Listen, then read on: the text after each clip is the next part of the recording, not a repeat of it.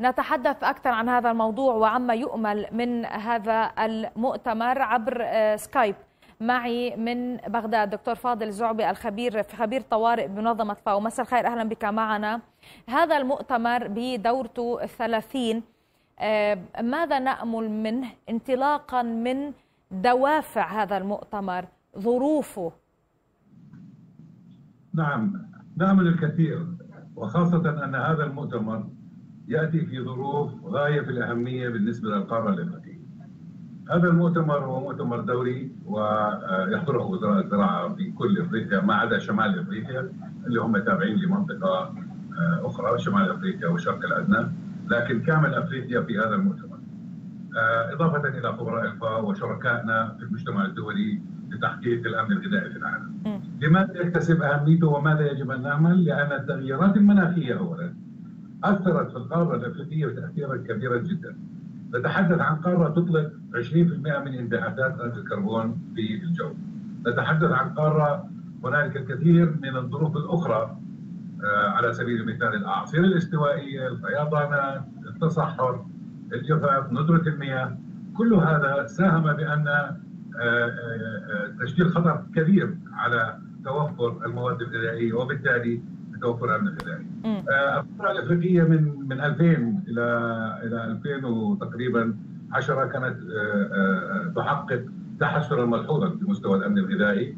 صار في عندنا انعكاس وخاصة في السنتين الأخيرتين 2015 2016 ازداد عدد الجوعى ووصل زي ما تفضل تقريركم إلى 224 بل على العكس من يعانون من سوء التغذية وصل إلى 315 مليون. آه، آه، آه، الهدف اللي كان محقق في المؤتمرات السابقة أن يصل نسبة ما تنفقه الدولة على القطاع الزراعي إلى 10% من إجمالي نفقاتها للأسف لم يتحقق إلا في ثلاثة دول في كامل القارة الإفريقية.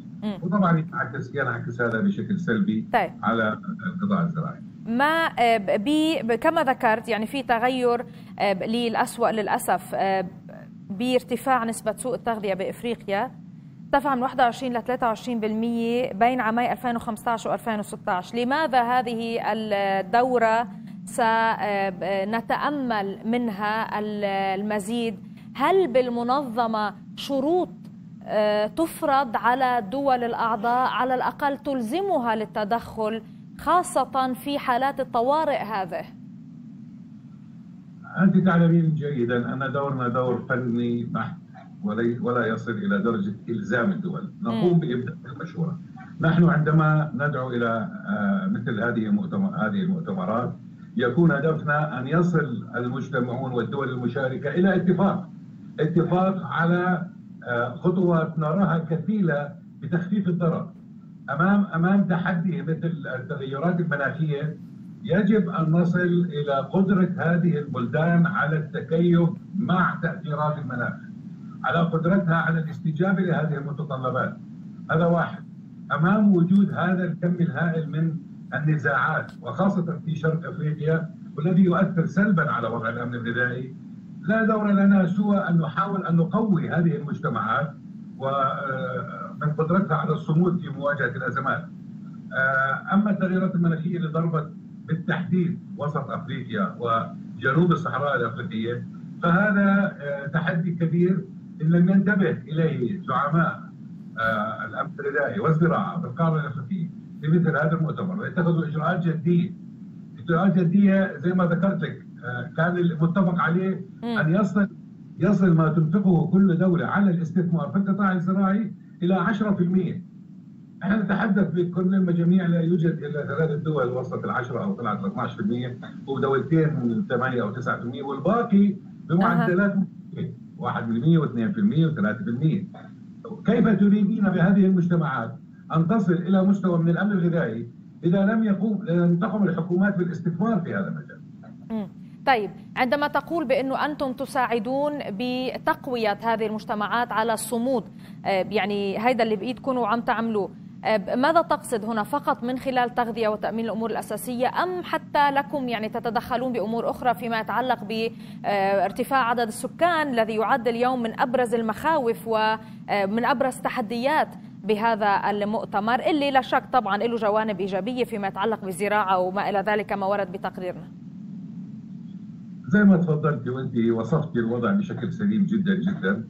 دورنا لا يقوم فقط على توزيع آه، معونات غذائية عاجلة، دورنا يقوم على تقويه القطاع الزراعي عن طريق توفير آه، بعض متطلبات ما يسمى بالإنتاج الزراعي، مدخلات الإنتاج الزراعي، عن طريق تقوية سلسلة الغذاء.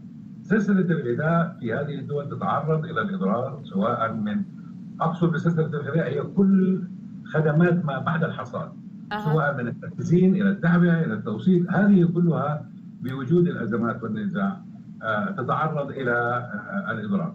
لا تنسي بأن الفاقد من المواد الغذائية هو فاقد كبير جدا وهذا الفاقد إذا استطعنا توفيره فبالتالي إحنا بنحسن آه، رفع لمستوى الأمن الغذائي. أنا ما بدي أطيل بهذا الموضوع بس لما يصل عدد ما ينفق من الثروة الحيوانية من 20 إلى 60% يعني كل بلد عمالها بتخسر من الفريش بروتين من البروتين الطازج عندها من الحيوانات تخسر آه، أعداد كبيرة آه، لن يقدر المجتمع الدولي ولا الدول المانحة على تعويضها آه، والاستمرار في إرسال الغذاء إلى هذه الدول، يجب أن تصل إلى مرحلة من من تقويه بنيانها الداخلي، والفاو عندها الخبره الفنيه وعندها أيضا بعض الدول المانحة التي تقدم المعونات من أجل تنفيذ برامجنا. أنا أشكرك جزيلا.